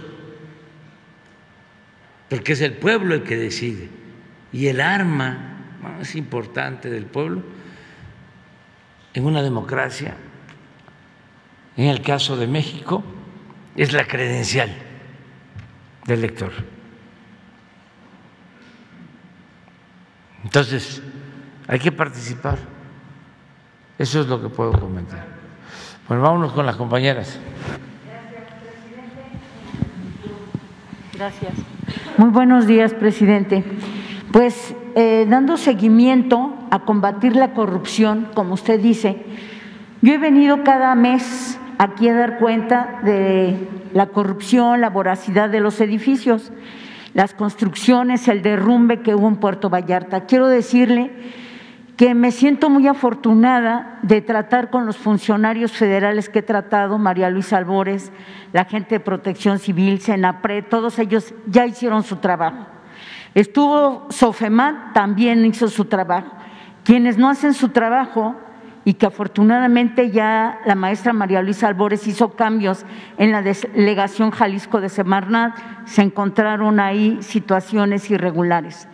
Quienes no hacen su trabajo, a pesar de que ya se dieron eh, indicaciones de lo que se debe de hacer, es el desarrollador, donde hubo el derrumbe, Serena, el colapso de la calle eh, Santa Bárbara. El problema es, y que sea yo tan reiterativa y estar aquí con ese asunto, y aquí le traigo ya documentos de otro desarrollo que ya está en riesgo, precisamente derivado del derrumbe, que es Paramount. Ellos están tratando de contener, de arreglar parte del edificio. Eh, la vez que estuve aquí, aquí estaba el canciller Marcelo Ebrard, eh, la comunidad quería platicar con él, él ya mandó un representante, ya hizo el licenciado eh, Andrés Gómez un recorrido conmigo, ya fuimos, ya vio, ya se dio cuenta de todo. Y desde aquí lo que pedimos es ahora que la pregunta, porque si pasa una catástrofe, como venimos antes a anunciarlo de el derrumbe y se dio, ahora yo no quisiera que pasara algo ahí, pero todo nos parece indicar que si no se actúa de inmediato, algo va a pasar. Si algo sucede, ¿quién va a ser el responsable? El desarrollador, el perito, el que dio la licencia, el presidente municipal que estaba anteriormente, el que está hoy, que está cargando con todos los procesos legales que le dejaron, de quién va a ser la responsabilidad si hay una catástrofe mayor. Y por eso He venido y a lo mejor parezco reiterativa con ese tema, pero son vidas, presidente, las que están en riesgo y hay que poner un alto a la voracidad y a la corrupción que ha habido en Puerto Vallarta en ese tema de las construcciones. Es por, ese lado. Y hablando también, eh, no sé si nos da alguna respuesta con respecto a esto que le digo, y me paso a otros asuntos que tienen que ver también con corrupción, que efectivamente es lo que ha adolecido a nuestro país, a Jalisco, a Puerto Vallarta. En el caso de. Este, hoy me presentó eh, Laura Velasco un informe sobre lo de Vallarta, hoy en la mañana, en la reunión de seguridad. Y van a estar este eh, fin de semana van a estar en Vallarta. A ver si me consiguen el informe de Laura. Me lo entregó hoy en la mañana y lo leí y, por eso sé que van a estar el fin de semana. Y, todos los funcionarios, presidente, quiero decirle que puntualmente se han comunicado, han ido. Yo estoy sorprendida de la respuesta que dan los funcionarios federales, porque pide uno hablar con algún estatal o algún municipal y hay más respuesta viniendo aquí, que se dé una instrucción que inmediatamente todavía ni termino salir de aquí, ya se están comunicando conmigo y lo tengo que decir, porque si fuera lo contrario, también se lo diría. Así de que eh, han estado muy bien y necesitamos ahora que el mamut que tenemos en Jalisco, en Vallarta, camine y empecemos a solucionar estas cosas y sobre todo esta en particular. Mientras le tienen el, el, el dictamen o la nota técnica, Me lo dieron hoy en la mañana. Sí, no es un oficio. Ese es, ese es. Es esto, es esto, pero tiene, pero me lo dio como un oficio, este, como un informe de hoy. Pero bueno, es esto. Así es. Sí. Entonces sí van a estar, no sé si ahí lo dicen. Mire, usted no sé si alcanza a ver en la primera fotografía, hasta arriba ya se alcanza a ver un edificio. Ese edificio se llama Paramount y eh, ese ya empieza a, a verse como grietas, cuarteaduras y los vecinos, eh, los dueños de sus fincas ya empezaron a hacer algunas labores y aquí traigo el documento que le envían. El desarrollador no ha hecho nada, las, las labores que le dijeron que tenían que hacer no se hicieron. El municipio entró una administración, salió la otra, la causante de dar tantas licencias de construcción, llámase, llámese Arturo Dávalos Peña, más de 155 licencias de construcción. Y eso me trae aquí, presidente. En la segunda foto ya ve usted más, más edificios arriba, Paramount y otro. Eso, hasta ahí ya llegó la afectación. Por eso, la verdad sí, se requiere. Bueno, si te parece, este, ahora con Leti se ponen de acuerdo Sí. y ella este, te atiende para ver eso. Y si van eh, los servidores públicos, que aprovechen para ver el otro tema que estás tratando. Gracias. También decirle que aquí le traje el tema de pensiones eh, del Estado de Jalisco. Eh, con las aportaciones de los trabajadores para su pensión y jubilación en Jalisco, se dispusieron 603 millones de pesos en los cuales se adquirieron certificados bursátiles en una empresa denominada Abengoa, que lleva tres años en proceso de quiebra financiera y que acumulaba una larga lista de incumplimientos y dificultades económicas, de forma tal que tan solo en 14 días que Abengoa se declara en quiebra, se realizó esta riesgosa inversión a sugerencia del Comité de Inversiones del IPEJAL. Hoy es inversión de 603 millones de pesos en bonos de deuda de una empresa española, eh, se transformaron en tres pesos con 98 centavos, presidente. El quebranto financiero del Fondo de las Pensiones de Jalisco va a ocasionar un enorme problema social para los siguientes años. Es algo así como un fobaproa, vamos a decir, que le quieren meter a los ciudadanos de Jalisco. Y se trata de dinero de los trabajadores que aportaron y debido a la corrupción se ha usado en inversiones inmobiliarias fraudulent- fraudulentas, algunas de ellas en, en Puerto Vallarta. Y es un abuso total en el que el gobierno, yo creo que el gobierno del Estado está ahorita en estos momentos creando una serie de situaciones para, como la verificación que usted aquí echó para atrás, pero allí en Jalisco, la gente está marchando, la gente está marchando en contra de esa disposición. Y bueno, con este asunto del el IPEJAL, ¿en qué pudiera el gobierno federal intervenir para evitar y dejar sin derecho a la pensión a trabajadores que han dado sus mejores años de trabajo? Y de acuerdo con el estudio, resulta particularmente alarmante que el déficit eh, actuarial del IPEJAL, que hoy asciende a 260 mil millones de pesos, cuando apenas hace tres años el monto de este déficit era de 57 mil millones de pesos. A efectos de dimensionar lo anterior, conviene destacar que el actual déficit actual de IPEJAL es prácticamente dos veces mayor que todo el presupuesto de egresos del Estado de Jalisco de 2022. Estoy hablando de 137 mil millones de pesos. Algo va a pasar en Jalisco y, los trabajadores, la gente que he traído al tema, me pide que por favor lo reitere, presidente. Está bien, vamos a tratarlo. Ahí está el oficio. Sí, ese es. Sí, es la parte final.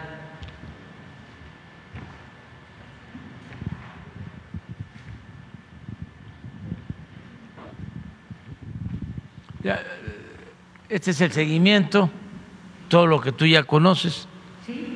Y este es el acuerdo. Se designó personal técnico para que el próximo lunes 30 de mayo se realice un recorrido de campo con especialistas de Senapred y el martes 31 se instalará un grupo de trabajo conformado por autoridades de los tres órdenes del gobierno, entre ellos la Secretaría de Medio Ambiente, la Procuraduría Federal de Protección al Ambiente, la Secretaría de Relaciones Exteriores, Presidencia Municipal, Protección Civil de Vallarta, Gobierno del Estado de Jalisco y la Coordinación Nacional de Protección Civil. Eso es lo que me informa la, eh, La- Coordinadora de Protección Civil. Muy bien. Entonces van a estar allá, Entonces, Vallarta. allá los veo. lunes y martes. Presidente, queda pendiente lo de pensiones y finalmente ya para concluir, Eh, A ver, en el caso de pensiones es solicitar respetuosamente, ¿no? porque es un asunto estatal, pues un informe ¿sí? al gobierno del Estado. presidente, y finalmente, eh, ¿se acuerda usted que fue a Vallarta y ofreció 650 millones de pesos para calles, obras y demás? Se fueron al tren a Guadalajara. ¿Se va a reiterar ese dinero a Puerto Vallarta, esos 650 millones? Hay una parte que ya se ejerció en obras eh, de desarrollo urbano en Vallarta, porque yo tenía eh, al principio esa idea de que eh, se habían transferido los recursos para concluir lo del tren, en Guadalajara, pero hay una parte que sí se quedó en Vallarta, en algunas obras. Voy a pedirle a Román Meyer que nos diga qué se hizo y qué falta. Y ya veríamos cómo le hacemos para este, concluir con el presupuesto original. Pero ya no son los 600 porque sí hubo una inversión en Vallarta. No sé eh, si fueron espacios deportivos, alguna, La En la lija. sí, sí, alguna acción se llevó a cabo. Gracias, Pero Vamos a informarle.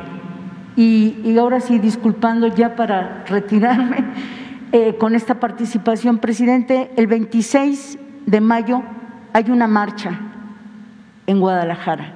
La Universidad de Guadalajara va a marchar, van a salir maestros, académicos, ejerciendo esa libertad para participar. Todo es derivado de 140 millones de pesos que ya estaban etiquetados, que ya los habría aprobado el Congreso para una obra, para el Museo Ambiental y de Investigación, 140 millones de pesos que estaban aprobados.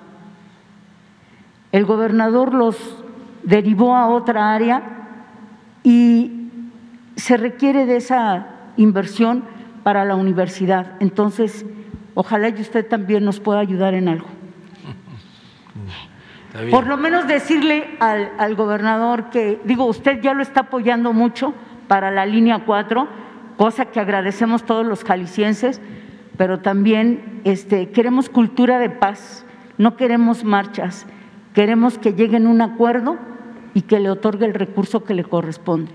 Muchas gracias.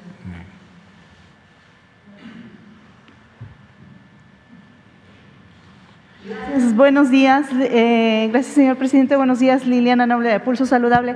Eh, señor presidente, yo quisiera conocer cuál es el número total de médicos que se van a basificar en esta regularización de IMSS Bienestar en estos primeros 15 estados. Si me pudieran compartir ese número y sería mi primera pregunta. Gracias. Sí. Muchas gracias, señor presidente. Sí, como, como se comentó, la, la, Jornada Nacional de Reclutamiento de Médicos Especialistas abarca todas las instituciones, aquellas que se dedican a las personas con seguridad social, pero también y quizá principalmente eh, para los eh, estados que atienden desde sus sistemas de salud a quienes no cuentan con seguridad social. Y en estos 15 estados es donde se identificó que de, la, de lo que los propios gobiernos eh, de las entidades federativas dieron a conocer, hay cerca de 5 mil que corresponden a médicos especialistas en alguno de estos 15 estados. Idealmente, para nosotros serían la totalidad. ¿De qué depende? Justamente de que a partir de hoy los médicos, las médicas, puedan ingresar a la convocatoria, revisar en qué localidades, en qué unidades hay plazas disponibles de lo que ellos estudiaron y de donde tienen su cédula profesional y a partir de eso empiecen a hacer sus postulaciones. La intención es que se contrate a todos, porque hay eh, recursos disponibles para estas eh, contrataciones. Pero lo que estamos intentando empatar, digamos, es las necesidades de las instituciones con eh, la existencia o la presencia de médicos especialistas que decidan ayudarnos en alguna de estas plazas. Pero lo ideal es que fueran pues todos, los 13.765 y en particular los 5.000 de estos 13.000 que corresponden a los servicios estatales de salud para personas sin seguridad social en los 15 estados del país que se están proyectando para este año. La, Organización Mundial de la Salud dice que eh, deberían de existir alrededor de 23 médicas, médicos y parteras por cada 10 mil habitantes. La Organización para la Cooperación y el Desarrollo Económico, la OCDE, dice que México tiene 2.4. Ah, la mayoría de los países que integran esta organización tienen alrededor de 3, 3.4. Eh, en los porcentajes, usted, maestro, es muy bueno como economista con el tema de los números.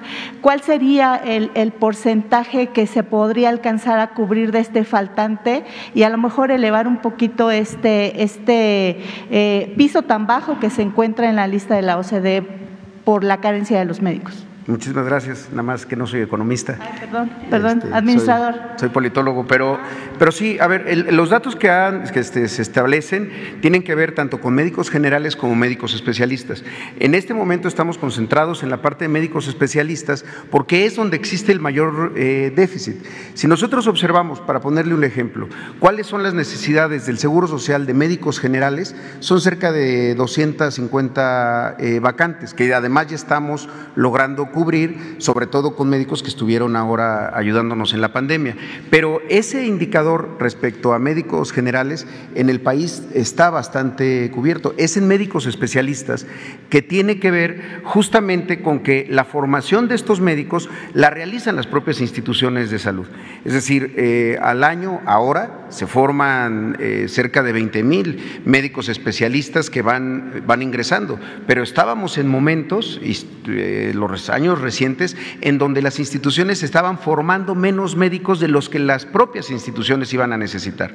Entonces, la intención es, en el, en el mediano plazo, que México tenga una capacidad de formación para que se cubran esas, esas brechas tan, tan grandes. Sin embargo, en este momento lo que creemos es que con esta cobertura de las 13.675 eh, eh, vacantes, podríamos llegar a, a, estar cercano a estos indicadores que plantea la propia Organización eh, Mundial de la, de la Salud. Sin embargo, hay que insistir, eh, esto es producto de muchos años en donde se dejó de formar, no porque no hubiera la intención de médicos generales que quisieran hacer la especialidad, había muchos todos los años, cerca de 50 mil personas presentaban el examen nacional de residencias médicas, que es el paso para pasar de ser médico general a hacer la especialidad de alguna de las especialidades, pero se cerraba la, la puerta a la gran mayoría de ellas, es decir, cerca del 10% eran los que lograban ingresar. Y muchas veces había eh, médicos que habían sacado muy buenos puntajes, pero que no se abrían las plazas, no se hacían las inversiones, pues. Y eh, a contrario a eso, sí se hacían muchas inversiones en infraestructura y más infraestructura, que quedaba, eh, iba generando un rezago aún mayor de infraestructura con plantillas incompletas. Nosotros lo hemos dicho muchas veces, un hospital sin el personal óptimo, sin su plantilla ideal, no es una instalación de, salud, es un, es un, edificio nada más. Y ahí es donde empezó este, este gran problema eh, de pensar que solo era construyendo más y no formando más y abriendo más plazas, más vacantes para los médicos residentes. Entonces, pues es un buen dato para ver quizá eh, a la hora de que observemos cuántos se cubrieron de esta jornada, a cuánto nos acercamos a los indicadores internacionales. Pero va a depender mucho de que esta convocatoria se dé a conocer y participen muchas médicas y médicos especialistas que hay en el país. La, basificación es eh, eh, permanente. ¿Cómo se les va a garantizar esta permanencia? Porque hay médicas y médicos, enfermeras que, consideran que pudiera ser solamente por un periodo pequeño. ¿Cómo va a ser? No, aquí el planteamiento es, eh, y ya de cada institución se están revisando todas las, bolsas de trabajo y demás que están, que están incluidas, pero todas estas más de 13 mil plazas tienen asociado un número de esa plaza, es decir, tienen recursos asignados a esas, a esas, a esas vacantes. Pues. Entonces, la contratación es ya para una base de carácter permanente. Si alguien eh, de los médicos internistas que tanta falta nos hacen en todas las instituciones, eh, el, el, 11 de junio eh, firma su contrato, pues en ese momento ya estará basificado. No es para coberturar plazas eventuales, no, son, son plazas que tienen recursos, que tienen presupuesto y que muchas veces pues, se, se, habían quedado eh, desiertas, vacantes. Gracias. Y finalmente, señor presidente, eh, eh, en una entrevista, el doctor Gadi Sadiki Sirot, en programa de radio, me mencionaba que eh, gracias al modelo actual de la, de la prevención de la Estrategia Nacional contra el Suicidio, de la Estrategia Nacional contra las Adicciones, Código 100, de la utilización de la inteligencia artificial y la tecnología para hacer estos muestreos, para detectar ah, en primeras etapas al posible suicidio, suicida, por supuesto, y también la Estrategia Nacional de la Atención de la Salud eh, de las Enfermedades Mentales. Este modelo tan interesante se ha visto ah, fuera de México y países como España, Reino Unido, Inglaterra, han estado muy interesados en copiar el modelo. Yo quisiera preguntarle, señor presidente, ¿Qué, tendría que hacer el gobierno en el resto de su, de su mandato para poder eh, lograr que este modelo que usted encabeza pudiera tener la permanencia y llegado otro gobierno no se eliminara y no se echara para atrás todo lo que hasta este momento se ha alcanzado? ¿Cuál sería esta eh, decisión a tomar, presidente? Pues eh, apurarnos para consolidar el modelo, demostrar en la práctica que funciona, que es eficaz. Y eso la gente este, lo evalúa. Yo les puedo decir, sin temor a equivocarme, de que en los últimos 20 años en México, el programa eh, de apoyo al pueblo mejor evaluado por la gente es el de la pensión a los adultos mayores. La gente es la que este, evalúa entonces nosotros podemos eh, decir aquí que ya están eh, los centros de salud, que ya tienen los médicos, que ya no faltan las medicinas, y que se trata muy bien a los pacientes y que ya eh, se basificó a los trabajadores de la salud, pero si no se consolida en la práctica el sistema, si va una paciente, una señora que va a dar a luz y no hay quien la atienda, o le dicen de manera grosera, regrese dentro de una semana, aunque ella ya esté sintiendo de que tiene que dar a luz. No, todavía no, porque se da eso todavía, malos tratos. Pues entonces no estaríamos logrando nuestro propósito. Por eso es tiempo de apurarnos para que tengamos el tiempo necesario y se consolide el sistema. Y una vez que ya esté consolidado, pues la gente lo va a defender. Es como todo. No van a permitir que se desmantele, que se continúe con la política privatizadora o que nadie voltee a ver al medio rural, que se olvide que el sur también existe, como diría Serrat. Este, ahora eh, no, es, no nos va a alcanzar el tiempo y además me gustaría que se haga una vez que tengamos ya la demanda de, empleos o eh, las solicitudes para ocupar las plazas. Este, porque lo que quiero que quede de manifiesto, porque hay muchos que de buena fe dudan lo que estamos sosteniendo acerca de que el modelo neoliberal nos dejó sin médicos. Y hay algunos que eh, piensan que exageramos. Pues no, no tenemos los médicos que requerimos de acuerdo a la Organización Mundial de la Salud. Esto lo maneja muy bien el doctor y también Alejandro Schwartz. No sé si lo tengan de memoria. A ver. O sea, para explicar y al final aquí lo vamos a poder constatar, porque vamos a ver cuántas plazas se ocuparon. Una de las cosas que les estoy planteando es que se haga un exhorto este, a los especialistas jóvenes. Hay mucha gente en el sector salud con dimensión social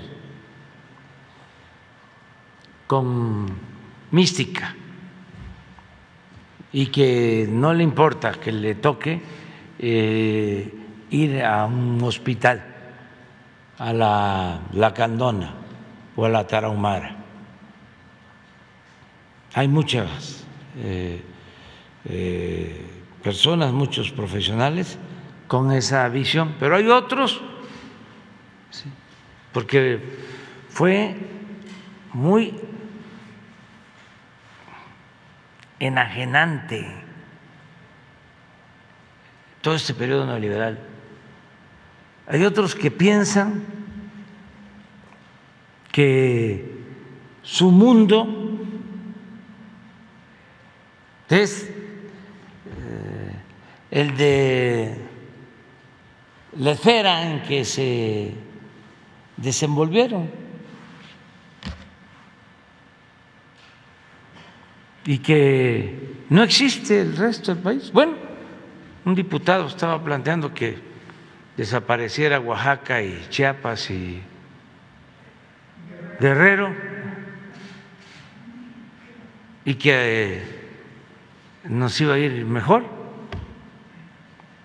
¿Cómo es eso?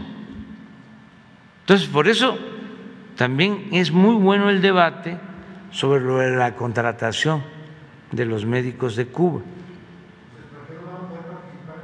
Sí, sí, pero primero, porque así se planteó, vamos a llenar con los médicos mexicanos hasta donde eh, se pueda. Como sabemos que no vamos a tener, desgraciadamente, todos los especialistas que requerimos, sobre todo en la montaña de Guerrero, porque ya lo sabemos, conocemos los pueblos de México, sabemos cuál es su situación, recogemos los sentimientos de la gente todo el tiempo. Pero también con todo respeto, un citadino, este, pues no tiene una visión, pues el que conozca más Nueva York o Madrid,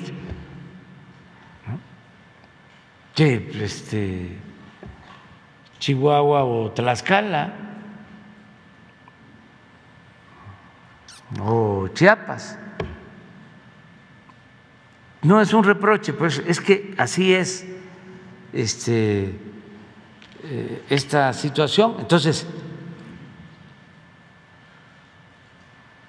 los médicos cubanos ya han estado ayudándonos cuando el COVID, les agradecemos muchísimo. Y la verdad es una vileza el que por cuestiones políticas, ideológicas, por conservadurismo, por una uh, forma retrógrada de pensar este, se descalifique. Y el derecho a la salud pues, es un derecho humano. Y es porque hay en Cuba médicos muy buenos, especialistas. Eh, van a Europa, fueron a ayudar a Italia en los momentos más difíciles de la pandemia y cuando salieron les hicieron homenajes.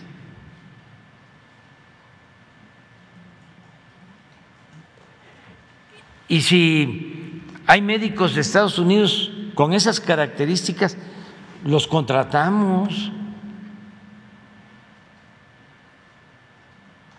Y si los hay en Francia,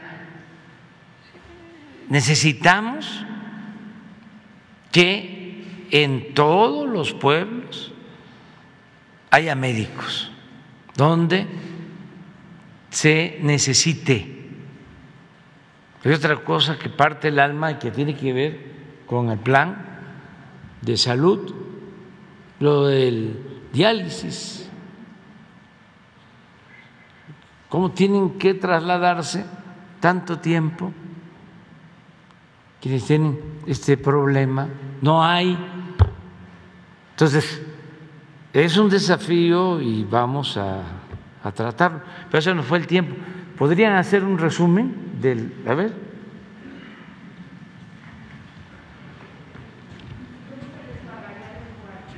Bien, este eh, reiteramos, sí, estoy completamente de acuerdo con el señor presidente, sí necesitamos más médicos especialistas, en números aunque pues eh, estos son sólidos, estamos hablando de 200 mil médicos que con la pandemia inclusive fueron requeridos más. Y después esta situación, los 200 mil médicos se ubicaban en dos terceras partes de necesidad de médicos especialistas y una tercera parte de médicos generales. No hemos tocado estos eh, alrededor 70 mil médicos generales, cuál es su necesidad. Lo estamos sacando y va a ser relativamente más fácil que los especialistas. Les quiero señalar que de los especialistas, eh, si diéramos un seguimiento de, los, de las oportunidades y haber duplicado en el primer año de que se, o sea, hace dos años, el, el número de oportunidades para tener médicos especialistas y al siguiente año, que es este que acabamos de iniciar eh, médicamente, están otros 20 mil, 40 mil. Con eso tenemos que esperar y sucesivamente el que cumplan en promedio tres años de especialidad o dos en algún caso. Todos estos eh, números nos llevan a que al término de esta gestión tengamos cubierta mayoritariamente en la, en la práctica a estas deficiencias. Y analizándolo desde luego en la última cifra que nos ofrece el Consejo de Especialidades, esto desde luego nos llevó a que tenemos 135.046 médicos certificados, es decir, regularizados podría ser que un 20% de estos no se hubieran recertificados.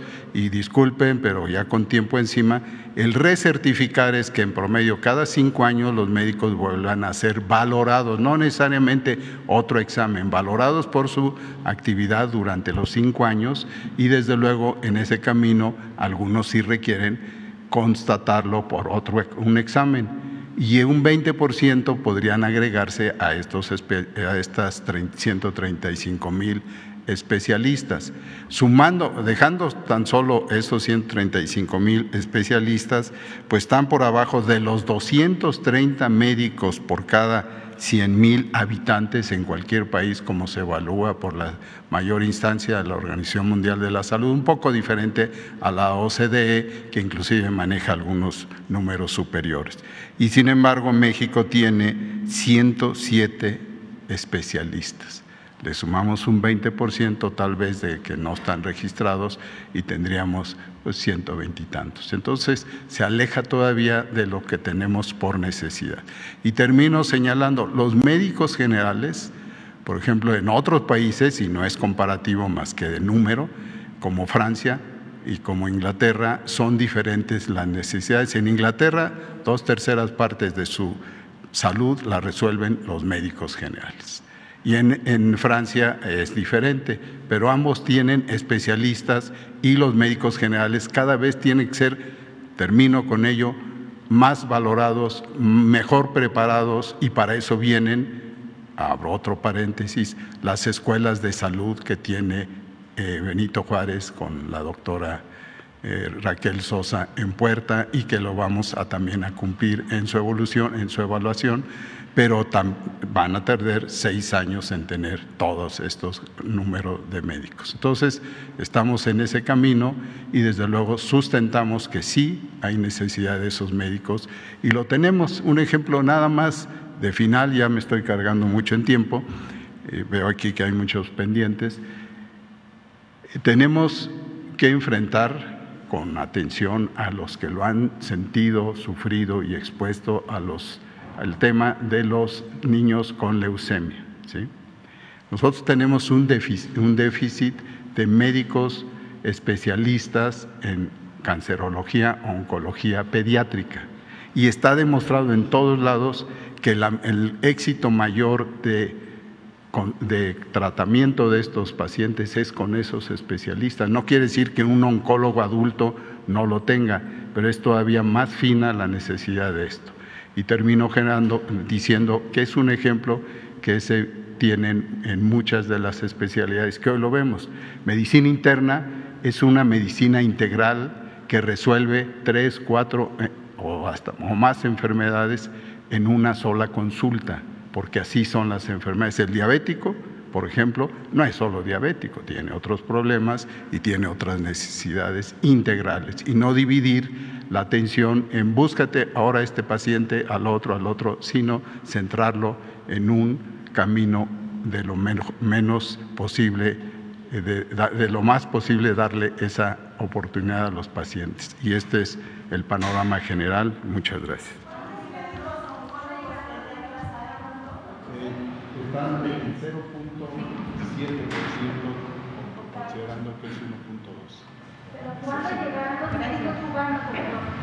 A ver, a ver el, el, dato que de acuerdo al doctor, porque es para toda la gente. Tenemos 0.7 por 100 mil habitantes. Mm, sí. Y se necesita 1.2. Ese es eh, por 100 mil habitantes. Ese es el déficit. En número, a ver si el martes, con toda la claridad, ¿sí? de todas las especialidades. Oncólogos, pediatras. Bueno, ¿les parece que la, para la próxima, vamos viéndolo, ¿sí? este, porque sí es interesante esto, que eh, son cosas que pasaron como de noche en la oscuridad, en la larga noche del periodo neoliberal. ¿sí? Pero qué bien que están saliendo a la luz estos temas. Hay otros temas también que deberían de salir a la luz. Por ejemplo, el problema grave que originó el modelo neoliberal en la desintegración de las familias. Eso no está medido. Sí podemos también tener información, porque esa es una de las causas, entre otras, de que muchos jóvenes se hayan creado sin tutela y hayan optado por el camino de las conductas antisociales. Entonces, son temas que están ahí, porque no es solo si se creció o no se creció, si se generaron empleos o no se generaron empleos, si se hicieron las obras o no se hicieron las obras. No, hay otras cosas más profundas que tienen que ver con la calidad de la vida. Entonces todo eso se deterioró. Bueno, el pensamiento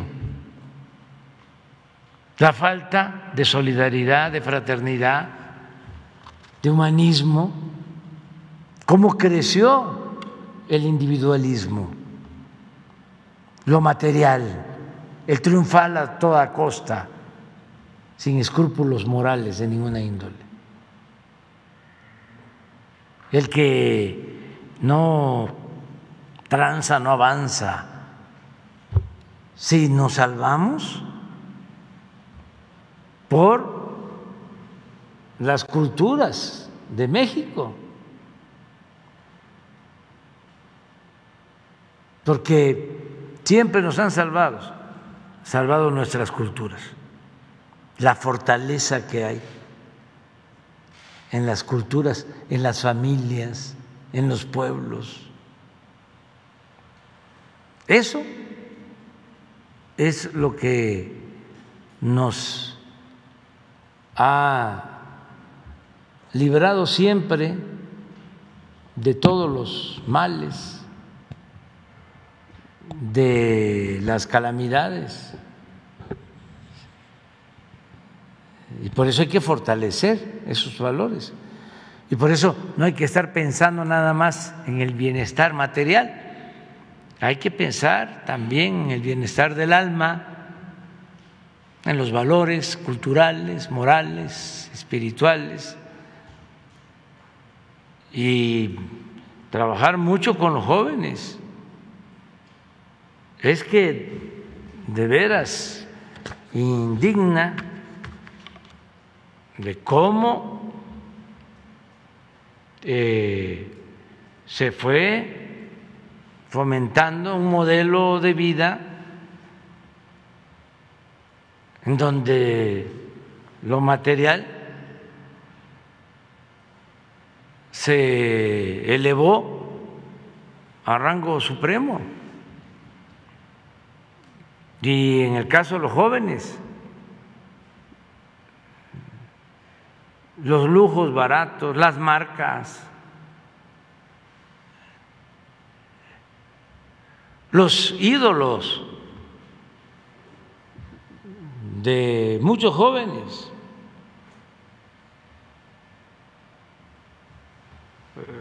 actores, artistas caracterizados por la extravagancia.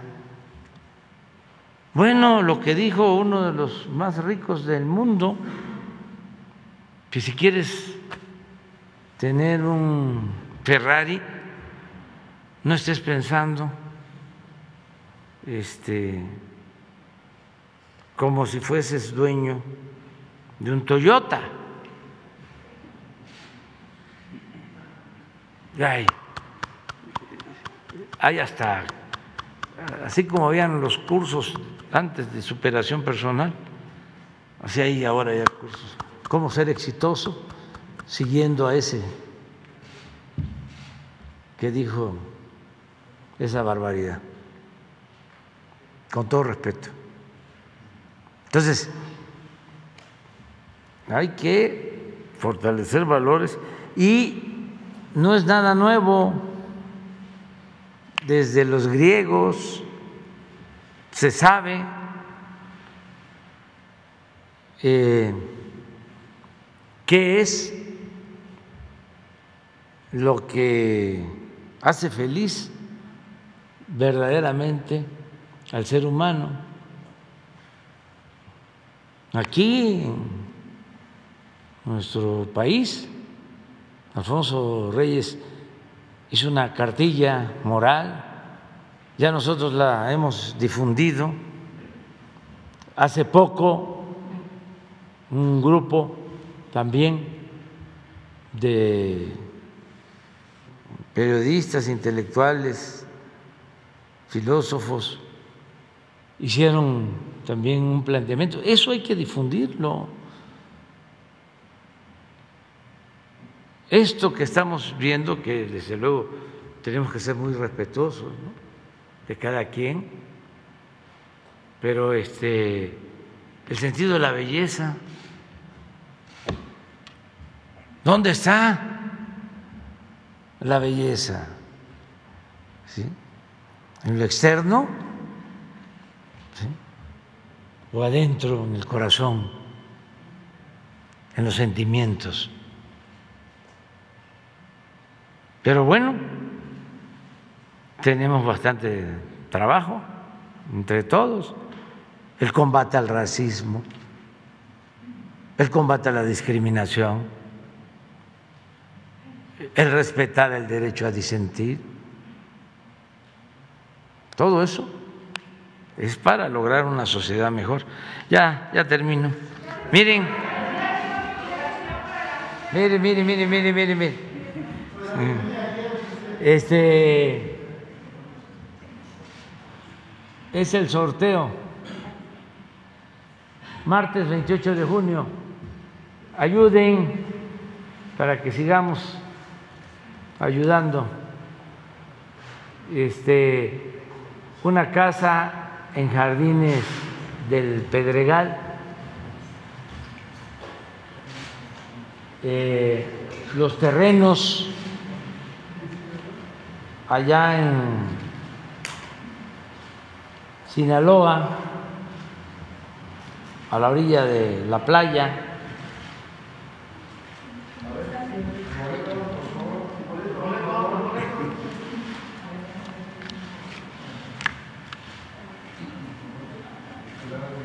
A ver, pon los premios porque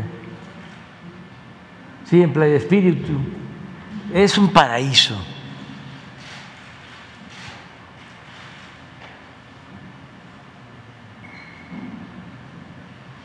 Se entregan las escrituras.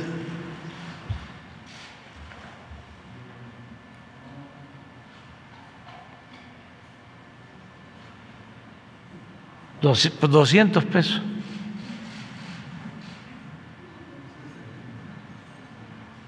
Bueno, nos vemos.